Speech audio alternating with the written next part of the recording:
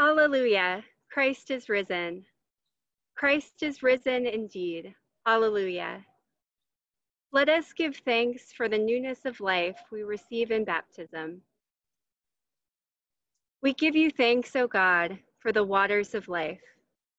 Together with all creation, we depend on water for our very being.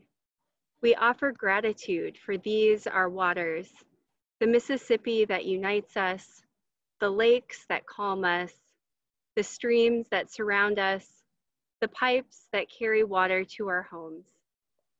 We bless these gifts that they might nurture our lives. We steward these gifts that they might nurture the earth. Held in this promise, we give you thanks, O God, for the waters of life. We give you thanks, O God, for your salvation through the water.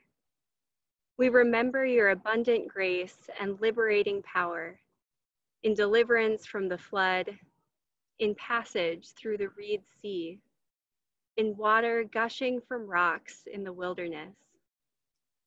We hold to your word that teems with life giving waters, from the banks of the Jordan River to the river of life that flows from the cross.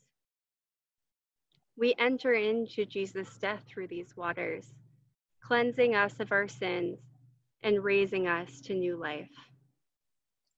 Held in this promise, we give you thanks, O God, for the waters of life. We give you thanks, O God, for the grace filled community born in these baptismal waters for the reconciling waters that make us one in you, for all our relatives in Christ, whom we have never seen, but to whom we are bound, for the ways you are made known to us in community, alive for the sake of the world, for our baptismal identity that grounds us, sustains us, and calls us to be neighbor to one another in your great love held in this promise, we give you thanks, O God, for the waters of life. At the river, we pray, pour upon us yet again the spirit of our baptism. Wash away our brokenness, immerse us in your love, and restore us to wholeness. You, O God, are the water we crave the fountain of life, the cleansing spring, the well from which we drink and never thirst again. Amen.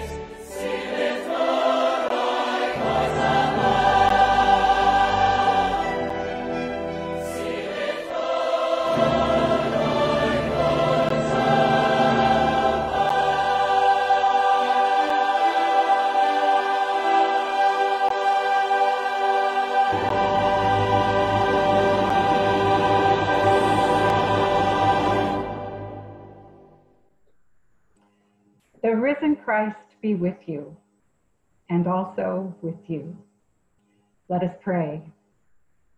O God of glory, unite us with Christ and with each other in suffering and in joy, that all the world may be drawn into your bountiful presence.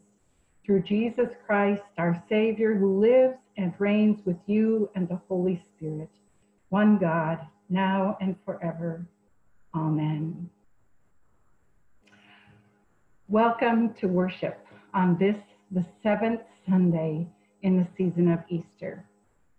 We are so grateful for the wonderful ways our congregations and ministries have been gathering for worship online. This was a steep learning curve for many and a whole lot of work for most. And after preparing for today, the first online synod worship service, we couldn't agree more. Please join me in praising and thanking all your congregations, worship leaders, and staff. Our hope today and on the 4th of July weekend is to provide a worship service both to celebrate and strengthen our Synod faith community and also to provide a small respite for congregational worship leaders. We are deeply grateful for the music in today's service, songs from recordings of worship services at Central and Edina Community Lutheran, as well as Concordia College. What can I say? I got to sing in that choir 40 years ago. We hope you'll sing along and that you will be able to find the words in the bulletins. We continue worshiping together, for God has promised to meet us here.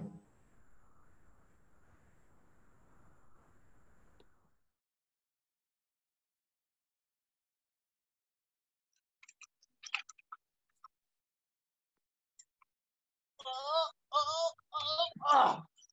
Hi, I'm Pastor John. I'm your kids' sermon guy today.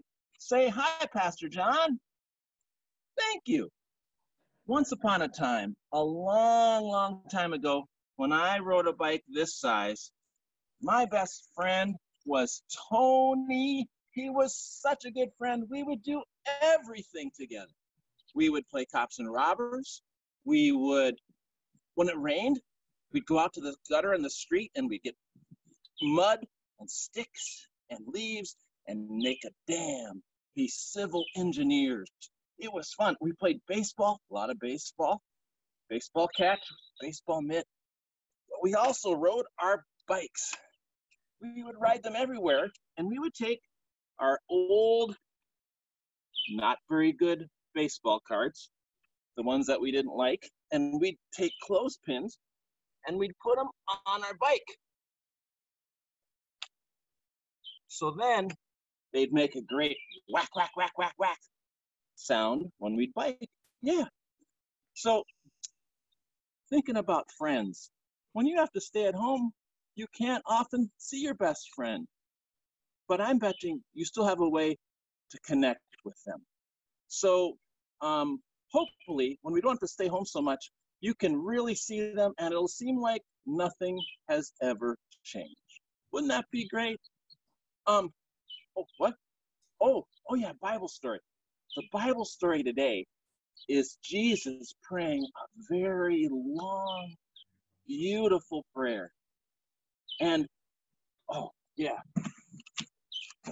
The first very cool thing about this prayer is that Jesus prays for you and me.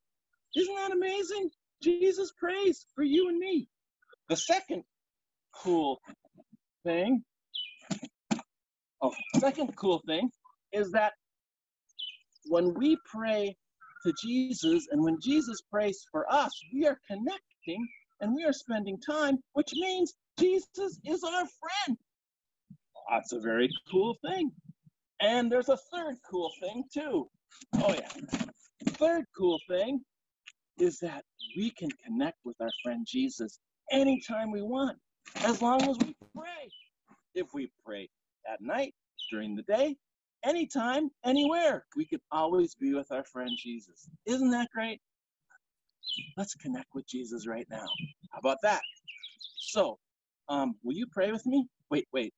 Can you get the big people in the room to join us too? Wake them up if you have to. All right.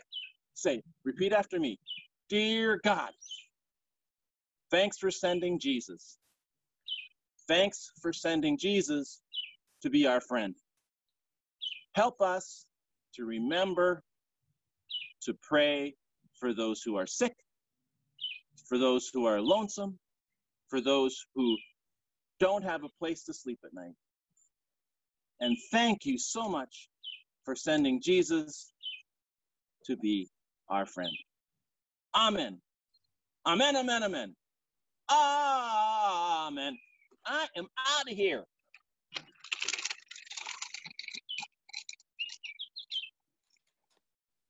A reading from Acts. Today's reading is part of the introduction to the narrative of the outpouring of the Spirit on Pentecost. These verses tell of the risen Christ's conversation with the disciples, in which Christ promises that they will receive the power of the Holy Spirit. When the apostles had come together, they asked Jesus, Lord, is this the time when you will restore the kingdom to Israel? He replied, It is not for you to know the times or periods that the Father has set by his own authority.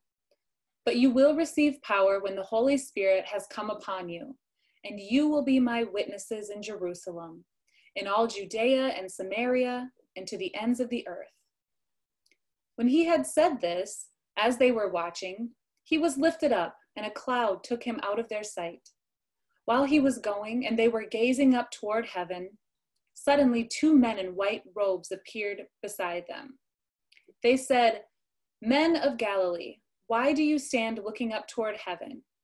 This Jesus, who has been taken up from you into heaven, will come in the same way as you saw him go into heaven. Then they returned to Jerusalem from the mount called Olivet, which is near Jerusalem, a Sabbath day's journey away. When they had entered the city, they went to the room upstairs where they were staying. Peter and John and James and Andrew, Philip and Thomas, Bartholomew and Matthew, James, son of Alphaeus, and Simon the Zealot, and Judas, son of James. All these were constantly devoting themselves to prayer, together with certain women, including Mary, the mother of Jesus, as well as his brothers. Word of God, word of life. Thanks be to God.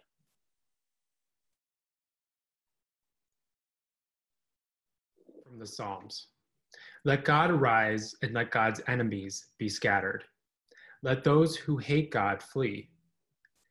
As smoke is driven away, so you should drive them away. As the wax melts before the fire, so let the wicked perish at the presence of God. But let the righteous be glad and rejoice before God. Let them also be merry and joyful. Sing to God, sing praises to God's name. Exalt the one who rides the clouds.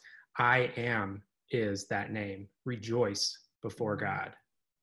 In your holy habitation, O God, you are a father to orphans, defender of widows you give the solitary a home and bring forth prisoners into freedom. But the rebels shall live in desert places. O God, would you went forth before your people when you marched through the wilderness? The earth quaked and the skies pour down rain at the presence of God, the God of Sinai, at the presence of God, the God of Israel. You sent a bountiful rain, O God. You restored your inheritance when it languished. Your people found their home in it. In your goodness, O God, you have made provision for the poor.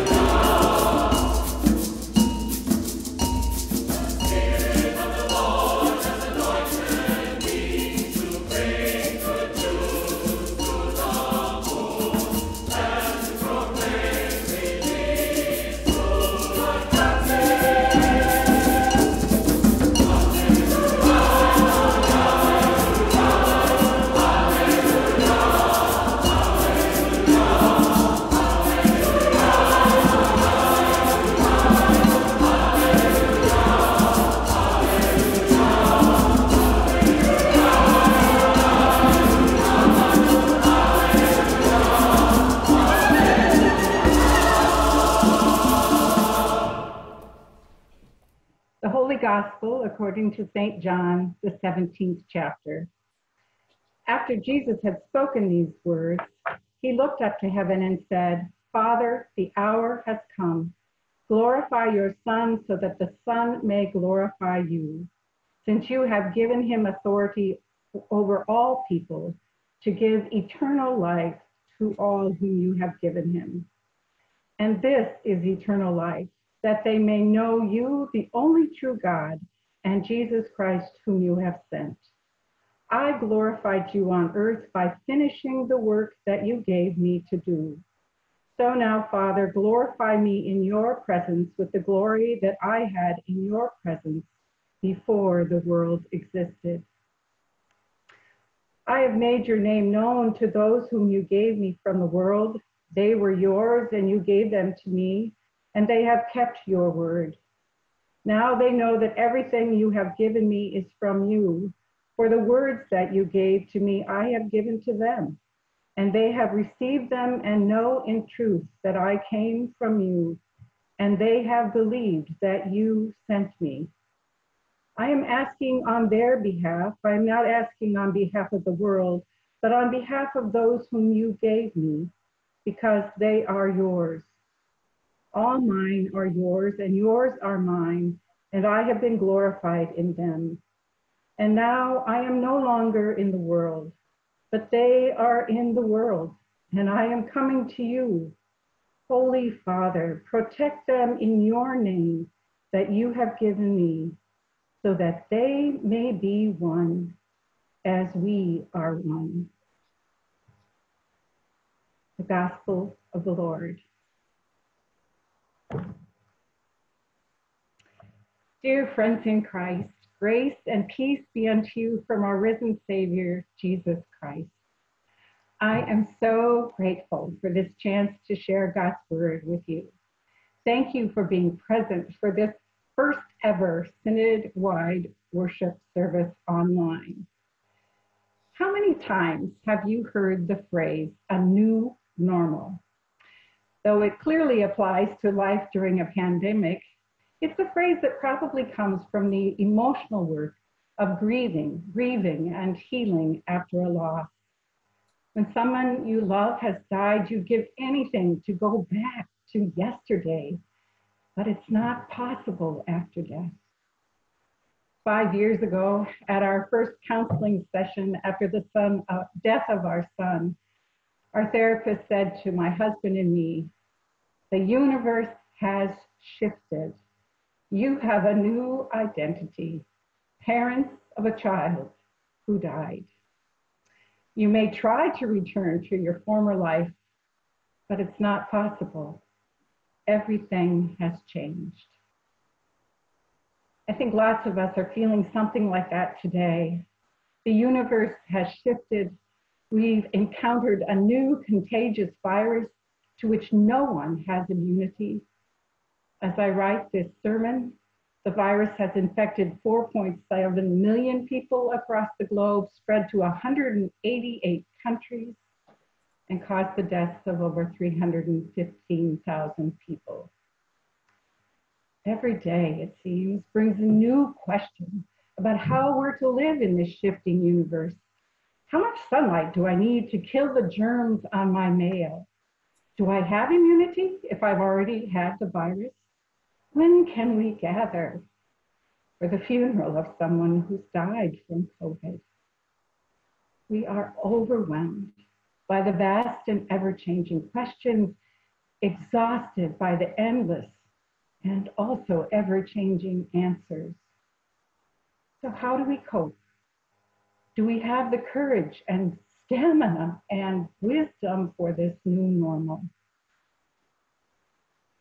Well, scripture is filled with stories of change, times when God creates a new normal, creation out of chaos, freedom from slavery, a people where there once was no people.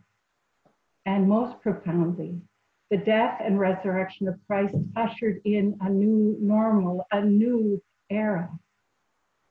The first disciples, however, had no experience with this new thing, Jesus raised, risen from the dead.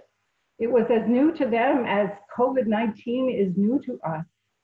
And it's no wonder Jesus takes a whole chapter just to pray for them in this new normal.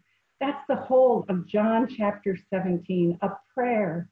The disciples gathered around Jesus, who's praying that God will prepare them for this world about to turn.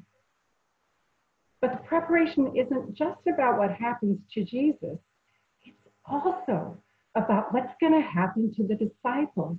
It's about the outpouring of the Spirit, a mighty Spirit who will empower the disciples and then send them into the world to love this world as God loves it.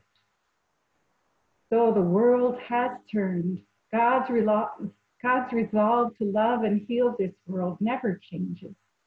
It's the reason Jesus was sent into the world, not to condemn the world, but that the world might be saved. Indeed, in John's gospel, sent one is the most common title Jesus uses to describe himself. And now that's what he calls the disciples. Just a few verses later in this chapter, Jesus says, As God has sent me into the world, so I am sending you into the world.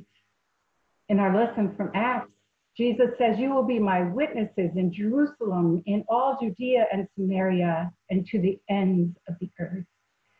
It's hard to be sent further than to the ends of the earth. Those united with this crucified and risen Christ in baptism are now also sent ones. We know the verse by heart God so loved the world that God gave God's only Son now, out of God's love for the world, the disciples, including you and me, are sent into the world. That's also part of the new normal called Easter. And yet, in the midst of a global pandemic, how does one actually live as someone sent out to serve? Most of us have spent the last two months staying in, inside our homes, often overwhelmed with tasks like doing our jobs or trying to keep our jobs or trying to replace a paycheck, buying groceries, caring for children, caring for elders. And now that we might be able to take just a breath, we ask what it would actually look like to be the sent ones out in the world to live and share God's resurrection power and love.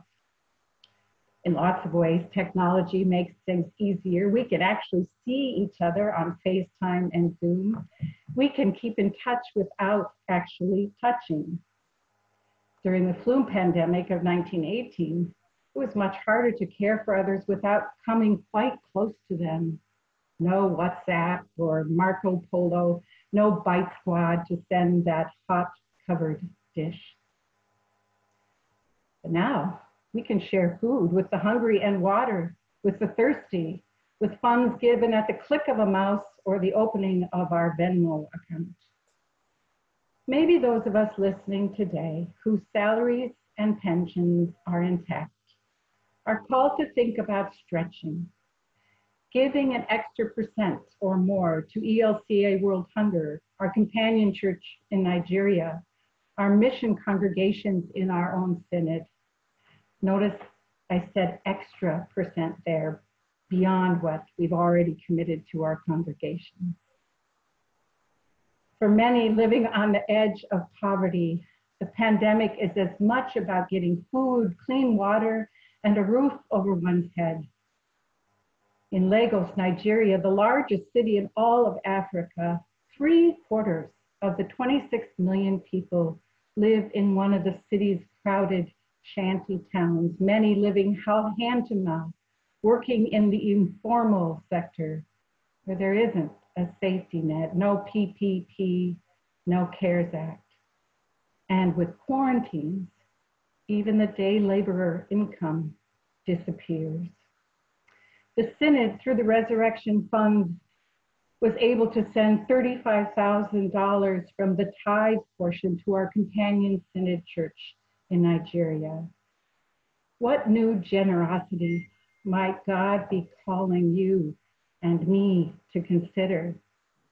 Just yesterday, I heard the phrase the wise are always learning new things, and the generous are always, always finding new ways to give more. We can lean into God's call to serve. We can be creative in sharing God's love, even while wearing protective masks. Yes, it's a new normal. Oh, many days we want the old normal. And yet, do we just want the old normal as it was? COVID 19 has revealed some things about our society, particularly the systems that leave some more vulnerable than others. Could it be that as we learn about the injustices exposed by the effects of this virus, we renew our commitment to the holy work of building new structures of justice and equity.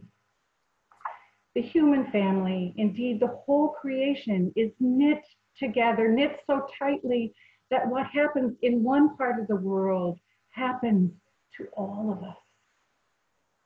How might we today be learning that access to health care is vital to the well-being of the whole human family.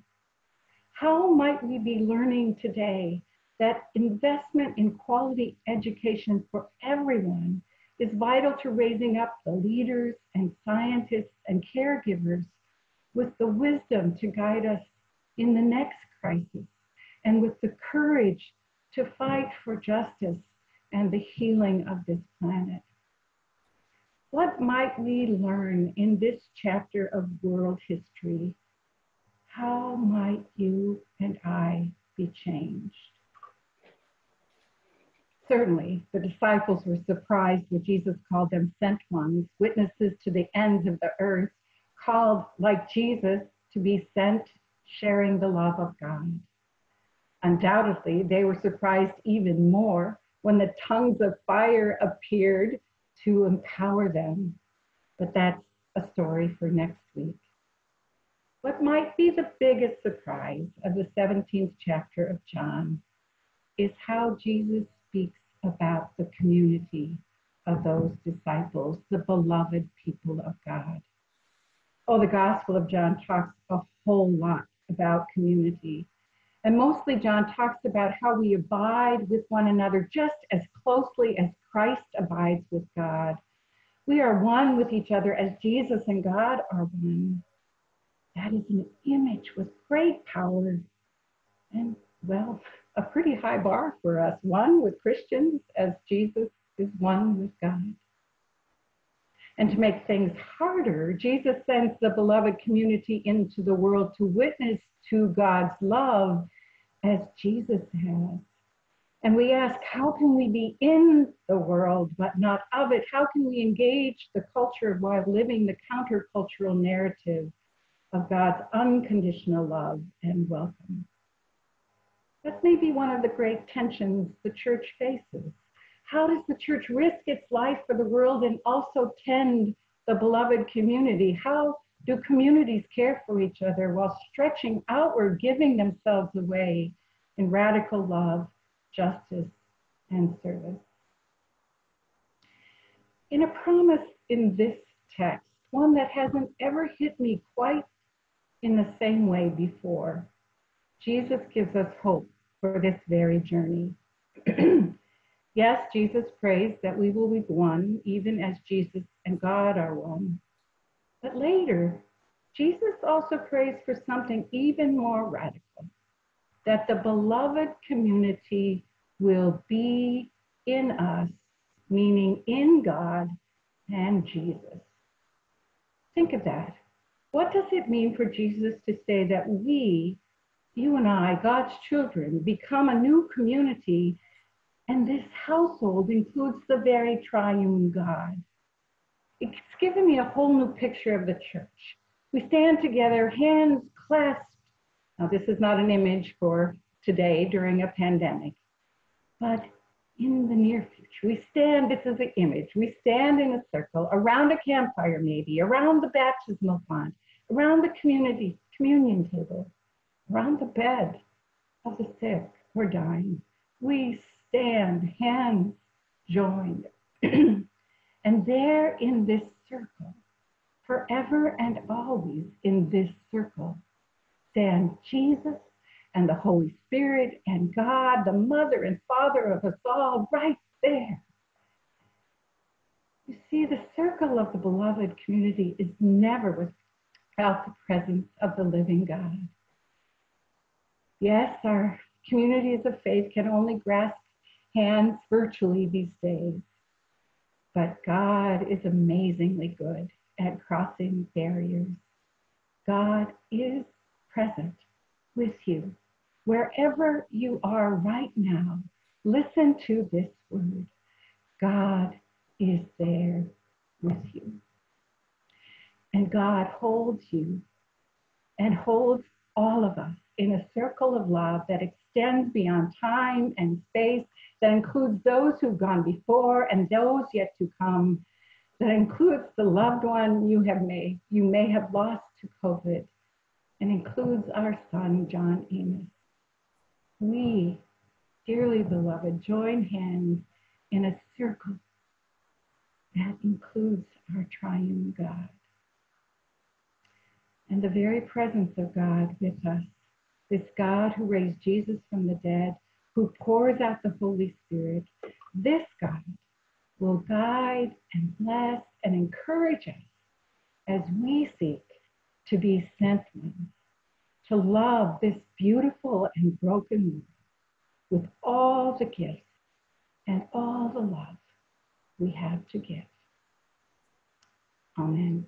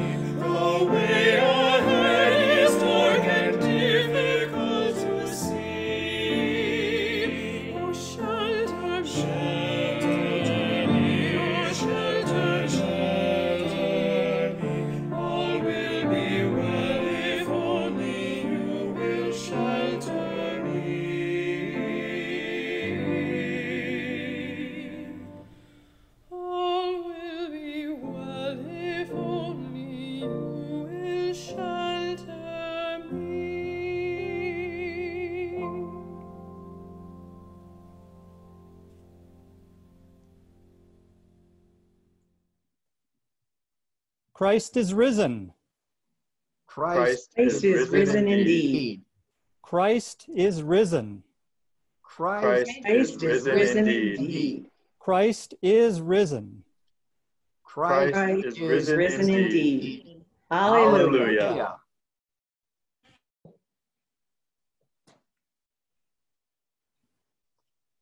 Faithful God, we pray for your church. As your people worship today, gathered in thousands of separate homes, grant us the gift of your peace. Give strength and wisdom to the leaders of our congregations and communities of faith. As Christians around the globe are united in their suffering through the coronavirus, so unite us also in the hope of life in the risen Christ. God, in your mercy, Hear, Hear our our, prayer. Our prayer. creating God, we pray for the world you have made. As human society is quieted by sickness, give your plants and animals, lands and seas a time to renew and replenish themselves. God, in your mercy, hear Hear our our prayer. Our prayer. God of justice, we pray for the nations. Bless the efforts of the Centers for Disease Control and the World Health Organization. Bring an end to violence between nations, across borders, within countries, and inside homes. Uphold the governors of our land. Give all civic leaders persistence in facing this pandemic, attention to those in need, and wisdom in proceeding into an unknown future. God, in your mercy, hear, Hear our, hear our prayer. Compassionate God, we pray for all in need. Comfort the bereaved, accompany the sick, especially the multitude who have contracted the coronavirus, and those we remember in our hearts. Visit the homes of all who are isolated, and hold the lonely and fearful in your arms. Grant your peace to the millions of unemployed. Give them food for today and hope for tomorrow.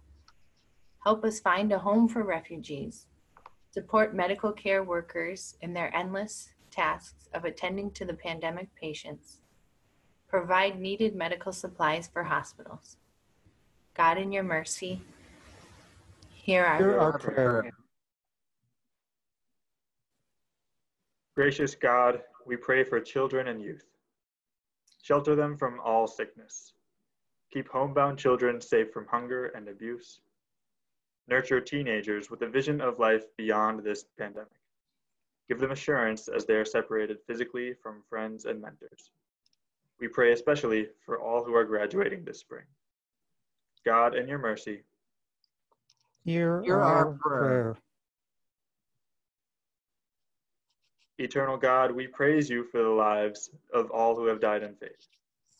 This Memorial Day, we especially remember those who risked their lives to serve in our armed forces. Grant safety to those serving at home or abroad, and assure them of your never failing care. God, in your mercy, hear our Hear Hear our our prayer. prayer. Loving God, we pray for ourselves. Renew our spirits by the power of the risen Christ. sustained by the promise of healing and resurrection, free us from the fear of death, and bring us at our end with all the saints into the joy of your presence. God, in your mercy, Hear our our prayer. prayer. With bold confidence in your peace, which passes human understanding, we offer these prayers in the name of Jesus Christ, our risen Savior. Amen. Amen.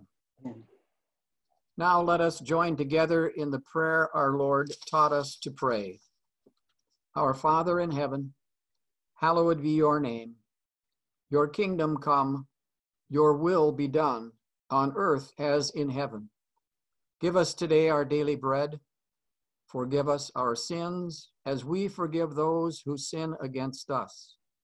Save us from the time of trial and deliver us from evil. For the kingdom, the power, and the glory are yours now and forever. Amen. Amen.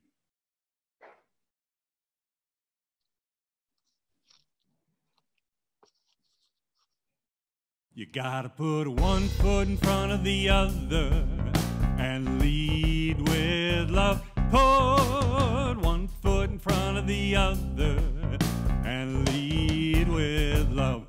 You gotta put one foot in front of the other and lead with love. Put one foot in front of the other and lead with love. Don't give up hope. Don't give up hope. You're not alone. You're not alone. Don't you give up. Don't you give up. Keep moving on. Keep moving on. You gotta put one foot in front of the other and lead with love. Put one foot in front of the other and lead with love. You gotta put one foot in front of the other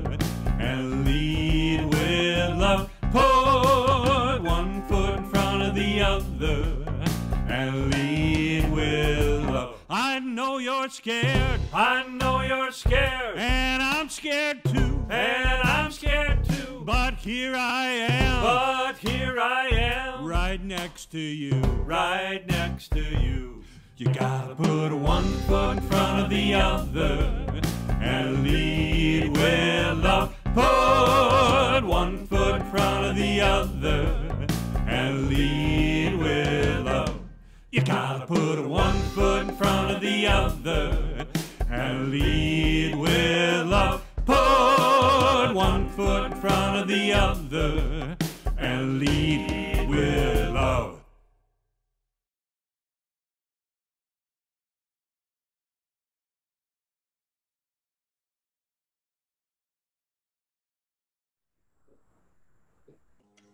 And now may the Lord bless you and keep you. May the Lord's face shine upon you and be gracious unto you. May the Lord look upon you with favor and give you peace. Amen. The peace of the risen Christ be with you always and also with you. Go in peace. Christ is risen. Thanks be to God. Hallelujah.